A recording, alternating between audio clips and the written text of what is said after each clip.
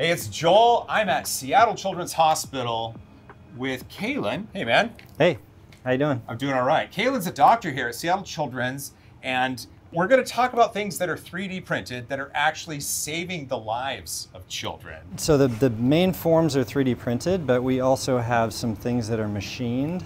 This was built, but, but it has 3D printed elements. Absolutely. Okay, well, we'll talk about Every this piece one in a bit. includes 3D printed elements. There we go. Everything includes 3D printing, which is why I'm here. That's why That's we're the here. exciting part. So let's start over here. Some of the most complex problems that we take care of in pediatric airway work include things like tracheas that are too narrow. So your trachea is your windpipe, you got to move air through it. Right. If it's too narrow, the air doesn't move very well, and Right. that makes it hard to breathe. And Okay. that can be life-threatening. So we have ways to improve that with surgery, but it's a very complex, high-risk surgery, and things that are high acuity, low frequency events are perfect for simulation training, and 3D printing is a really important tool for that. If you have the ability to train, even train based on that specific geometry of the person, the chances of it being a success go way up, right?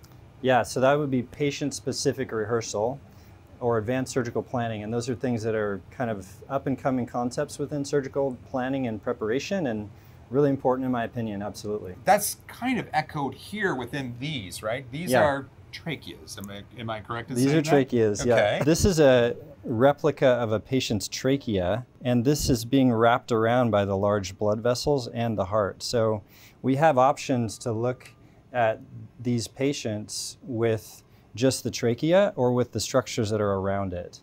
Oh, I see. So in 3D printing these models, what makes it highly beneficial is that you can isolate specific pieces of the body or print the pieces of the body in context with other members of the body. We have all those options That's open so, to us so amazing. because it's all taken from imaging, which we have all those structures on the imaging. These are squishy. Is not like bone, right? This, these are soft, squishy structures. The fantastic benefit is that these feel and cut very similarly to the, the tissues that I cut during surgery. So we Oh. can prepare in a much more specific and useful way when we have that ability of replicating the fidelity that we see in real life this? with this model. And then I would imagine if you're if you're training with a 3D printed model and with it being able to cut and feel similar to what you would in the body, if for some reason a nick was made that wasn't on purpose, or if you have an idea to try something different, with additive, you can do that without having to try it on the actual body. That and that's what I think is so powerful about this an application of this technology into this work is that when we are trying to you know both for teaching and for evaluating surgical techniques we can perform a surgery on this model and be that much more confident that we're doing patient specific preparation to be ready for that patient. But also if we want to try a different surgical technique we can iterate that surgical technique in you know three different variations have 27 different surgeries performed on the same pathology and then evaluate which have a bake off to determine which is the best model A bake off. So Right? in that bake off, are you actually well, a bake off has a taste test, but in this sort of application, you would have some sort of test to see whether Yeah. each individual technique was applicable or was better. Is that correct? and that's where computational fluid dynamics comes in because we can look at each of those post surgical models and determine which would be the best from a flow perspective Oh, and when dealing with the airway, that's it's all it's all it's about all flow. about flow, right? I mean, it's great if it looks nice, but if it actually moves air more effectively, that's what we're trying to accomplish. So this is this has had surgery. yeah. This These is are a actual post-operative model. Yep. Oh That wow! was performed by one of one of our surgical team, and that's the post-operative result. okay, does the patient know that advanced surgical planning has been done with 3D printed models? So many of our patients are four months old, so they don't actually care very much whether this was done or not. But well, I I, will I say think of Children's Hospital as being birthed to at least you know 18, 18, right? 21 actually for Oh. most of them. But I will say their their parents and families that really do do understand that this is being done and really do care about that. Do they ever ask for the planning models? We at the time of surgery, we generally give a model to the family. Do you really? Yeah. Oh, that's amazing. And we've had moms who have carried this around in their purse for years to, ex- Sure. to explain to people. This goes beyond patient education as well. If I had a surgery and I want to tell someone about it, that person is going to be way more engaged, hopefully, in what I'm saying if I can show them something to correlate my words to. Yeah. And it's one thing if you're describing somebody to somebody how you had your knee cleaned out for an arthroscopy, but it's another thing if you're trying to tell someone you had a slide tracheoplasty and cardiac bypass and they're like, a what, what? So, you know, being able to you do that in much more concrete descriptive terms has been really valuable for a lot of families we've talked to. I see other things here that kind of aid in planning. Is that right? So that each thing here is a different adventure in additive manufacturing. so, and each of them has kind of a different purpose and different goals. With the slide tracheoplasty research, we've been able to use that for, you know, just standard slide tracheoplasty work, which is I'm too narrow, I need to be bigger, and I do a slide tracheoplasty on it. Everything down to I've got an extra takeoff long before it should, and I got have to fix it that a way. Takeoff. What is a takeoff? So this is going up to the right upper lobe, and it's supposed to come off down here, and instead it comes off up here. Oh. And so the technique that you would use to repair this with a slide tracheoplasty is very different than what you would use to repair this with an early takeoff of, off of the right upper lobe. Oh, I see. And I, it, I see. it's still a slide tracheoplasty procedure, but that's where the patient-specific rehearsal can be really useful because you're never going to find two patients that have precisely the same configuration of this type of an anomaly. So we've also taken care of patients who have um, very significant um, deviations of the trachea. So it can be too small or it can be too tortuous. If they need something called a tracheostomy tube to help give the pressure that their lungs require, but that, that path to get there is too windy, then the standard off the shelf tracheostomy tubes, which are these tubes that go into your neck and ventilate your lungs, are not going to get there in an effective way. Oh, so then additive is being able to show you the structures inside and whether and whether or not that standard tube could be used and if not then what's the solution? We have solutions that we can try to mm, to create based on our clinical impression of the patient but what we've learned is that incorporating additive into that planning process can make it much more specific and valuable to the patient. So we can get a tube designed that will actually function for that patient but what we realized is that if we can take the patient and get a CT scan of their airway and draw a center line of the air column on that CT scan, we can digitally create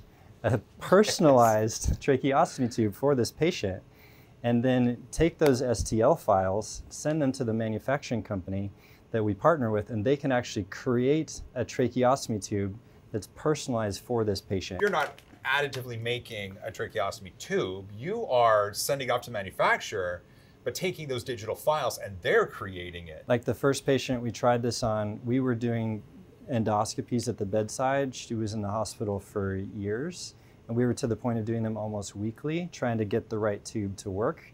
And once we got this fixed, they within like three months they were not requiring that at all and we're discharged within a few more months. Really? And so now they're at home. Yeah. like That's huge. Made a big difference. That's Huge massive. difference. Yeah, for this I mean very rare patients, but big difference for them. Yeah, that's Yeah. just it. But but the but this is what's great about what you see here is no everybody's unique. I mean, you know, we're all our own pretty little snowflakes, but at the same time, every every system within everybody's body is unique, and additive is able to help the this the surgery planning. And we're just talking about um, airways here. You can improve the comfort and the efficiency of the clinical experience by just taking the sharp enough learning curve with a lot of these models. And by talking about the clinical experience, it's not just the patient. It's it's the medical provider, it's the Yeah. doctor, it's their team. It's Every- much more stress, less stressful Yeah. for them to feel like they have achieved a level, a certain level of competence before they're asked to do it on a live person. It's really just the technical aspects of how we can do things better is really exciting. And so the fact that we were able to do that and create something based on files that we had digitally drawn, which had not been done before in this space to our knowledge, is just exciting and fun. But I think the biggest thing really is that you know we take a kid who is requiring these procedures basically once a week to try to get something that actually works to allow them to be safe enough to leave the hospital. And in, in my opinion, this made the most important difference in getting that transition to occur. So at her discharge party, when everybody was letting her, celebrating her being able to go home, you know, this had a lot to do with it. That's really cool. It's really cool. So there's one more thing, if I could show you. Yeah. Uh, our last little option here is the thing I mentioned that is partially additive and partially manufactured. And another category of problems we deal with are functional problems, where the structure is actually fine, but Oh. your vocal cords are two things that open and close. Mhm. And when you're talking, they should close. When you're breathing, they should open up really wide. And if they do that all the time, then you have this conversation, you're breathing, you don't even think about it. I don't think about it at No. all. No. But if that is not functioning the way it's supposed to, and your vocal cords are closing when you're trying to breathe in, that doesn't work very well. And this helps with that? So, this helps us to understand the problem and to be able to find ways to better manage it. I see. So, we can put this helmet on. And what we used to do, because the, the thing we want to do is to cap to catch it in the act. Mhm. So you want to be looking at the vocal cords when they're closing when they should be opening. So you have to look at them in motion. in motion and during activity.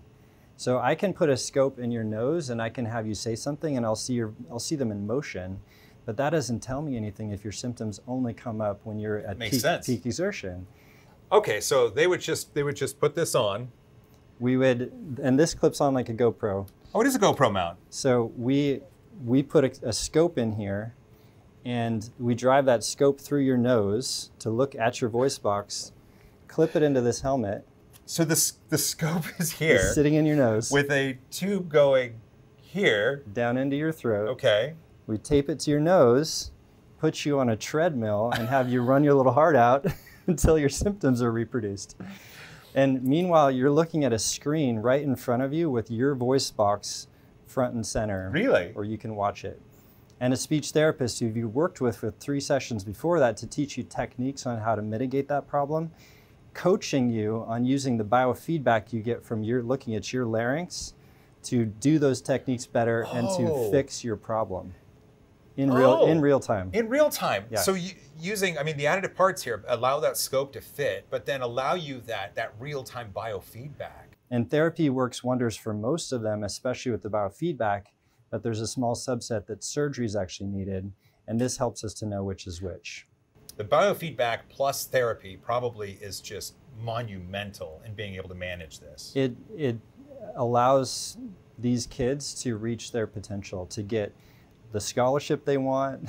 We've heard stories of patients who've gone through this therapy, and this was a friend of ours from the UK, but they actually could never reach their peak performance and got through this and got the treatment they needed and got a silver medal in swimming after that. So it's like a big That's deal. That's fantastic. It's a big deal. well, and I mean, not just the silver medal, but quality of life too. Well, it's huge, right? Yeah. I mean, for active people, if you're not able to do the things you love because your voice box closes and we can find a way to help you change that, that's a big deal. That's a huge deal. Oh, this is awesome. Being able to talk about how 3D printing itself has made not just your job easier, but safer for who you're working on with a higher success rate. Yeah. That's brilliant. It's been great. You're actively practicing, like he is a doctor, so you've got things to do. And so I think this conversation was wonderful. And if you want to know more, there's going to be ways to find out. Could you look into the camera right there and just tell them that if you want to find out more about your specialty and what you do, let them know. A lot of what we do is at Seattle Children's, and there's websites for that. I work in the Airway and Esophageal Center there, so we've got a, a website with some stories of additive manufacturing stories that uh, how that's affected patients' lives there Oh, perfect. as well. Well, that was wonderful. If you made it this far, you're awesome. Don't forget to hug each other more. Fight for a cause you believe in and 3D print all the things. All and as always, high five. Ooh, crisp. It's- Hope cool. I didn't damage your surgery. Oh, I'm good.